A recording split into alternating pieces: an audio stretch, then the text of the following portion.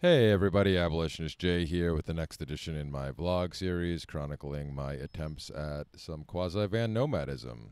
Today is now June 4th, 2018. It's about 2 o'clock in the afternoon. I am recording a little bit later than I have been trying to do lately because, well, it's Monday, and that is the day that the Seeds of Liberty podcast, one of the many podcasts I do, normally comes out. And I'm the one in charge of all that. So when I got to a spot to have Wi-Fi this morning. My first goal was to make sure I uploaded that uh, that episode, and then uh, I had a couple other things to do. So I'm finally getting to a record now. But since I already posted uh, that episode on Steemit earlier, uh, I was going to wait till later on to post this anyway. So the fact that I didn't get to record till now isn't that big of a deal, I guess.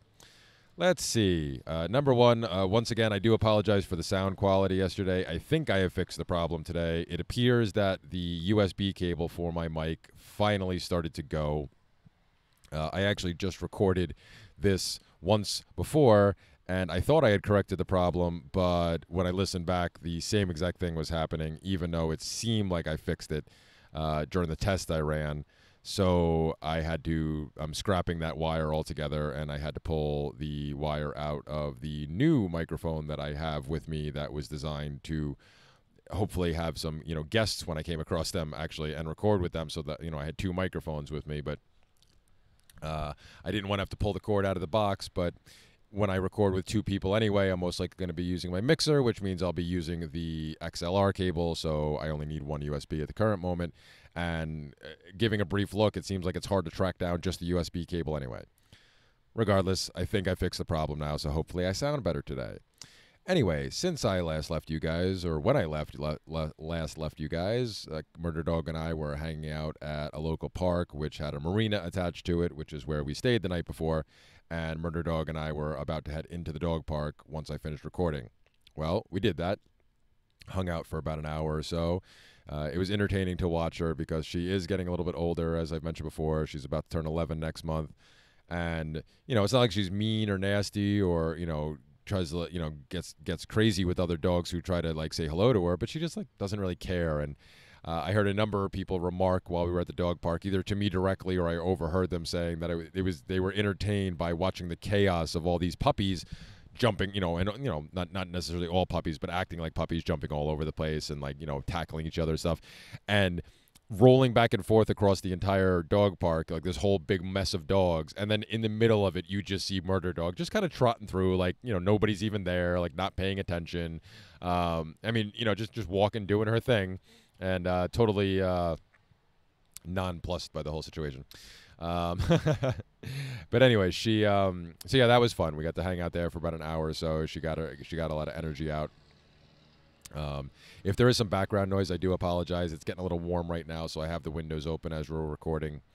Um, it's been colder the past couple of days, but of course now it's starting to heat up when I want to record. But you know, this is what we have to do. Hopefully, the audio quality overall is better, so you will forgive me today. Um, I, and besides, at some point when it actually is a nice day out, that I know it's going to be nice for a little while, I had planned on setting up outside to record, like actually fully setting up and getting the table out and sitting down to do a do a show. So th- those are bound to have background noises. Anyway, so that's what we did yesterday. We, that's how we started our day, and then afterwards we were going to meet up with the wife and kids, but they had some stuff to take care of first thing in the morning.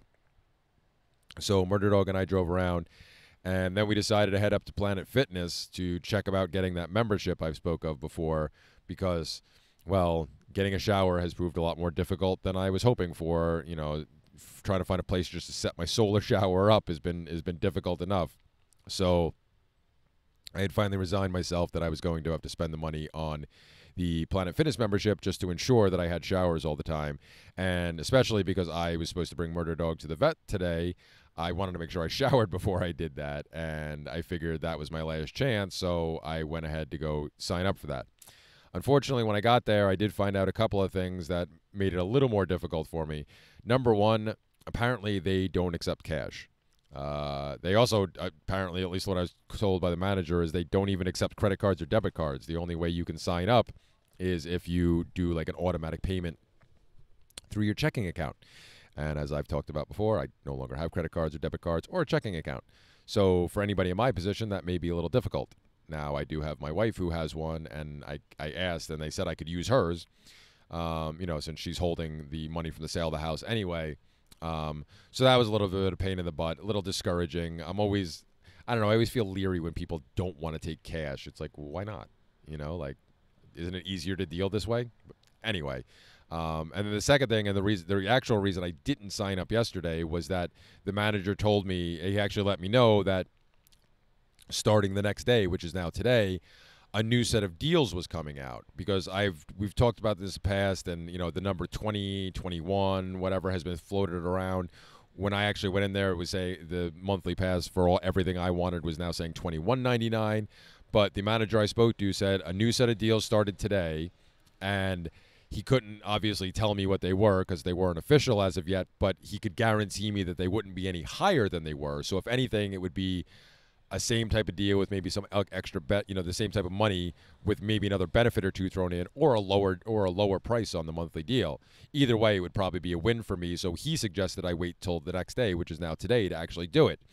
And uh, I appreciated him telling me that.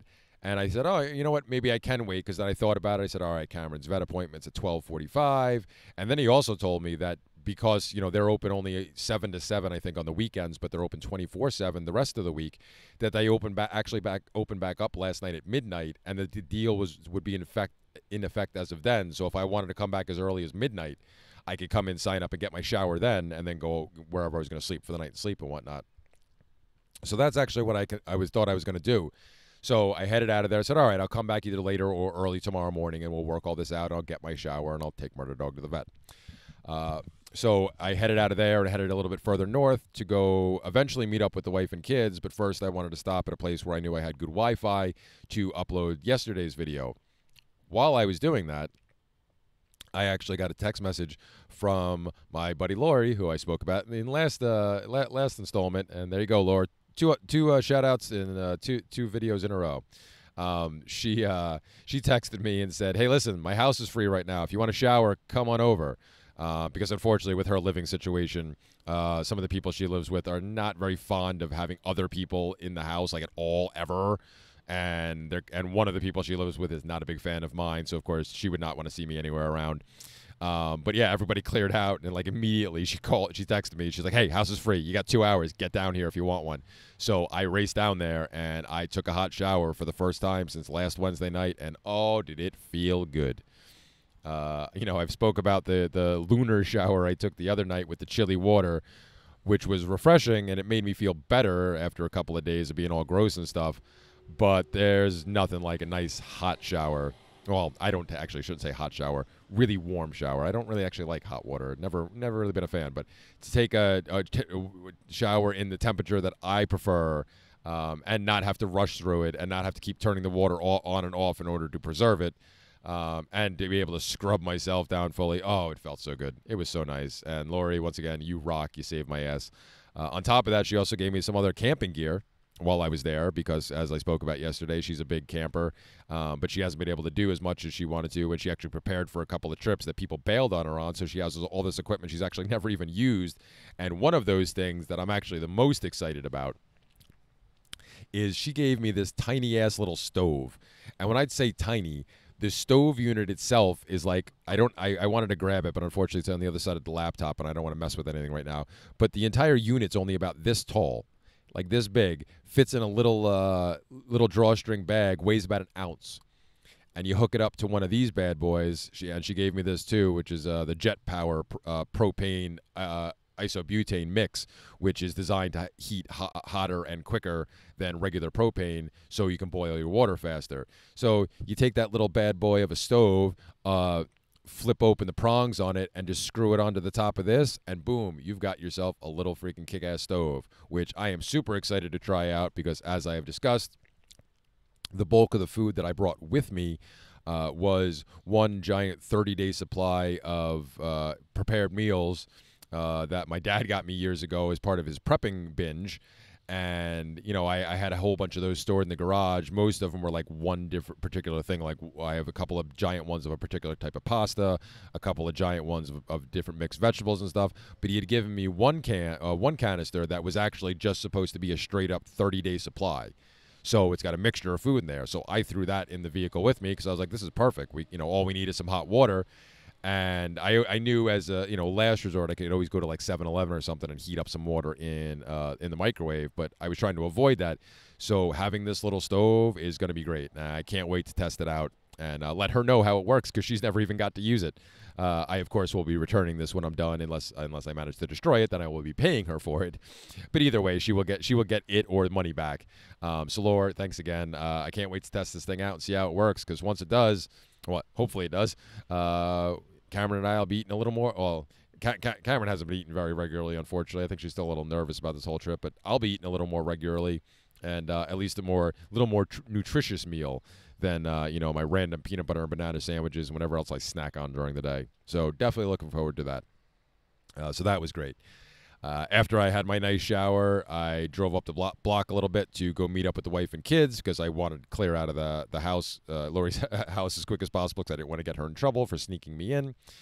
Um, and then we got up to the park, and I met up with the wife and kids, and the kids said, "Oh, we want Daddy to come play with us in the park," which meant you know the wife was going to sit with Cameron in the car because we parked on a public street. You know, we didn't want to leave her there alone, and the wife offered to sit and, and sit, with her while I went to play with the kids.